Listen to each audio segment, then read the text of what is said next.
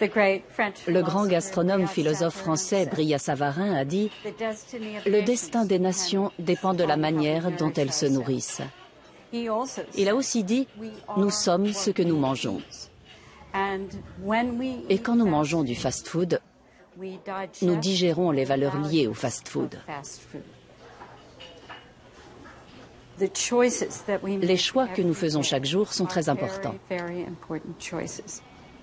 On peut choisir de soutenir les gens qui prennent soin de la terre pour l'avenir, ou on peut dépenser son argent dans un monde fast-food qui détruit des cultures autour de la planète.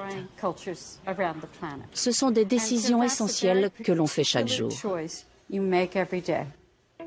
Et je pense qu'il faut faire des choix délicieux. C'est ce que j'appelle la révolution délicieuse.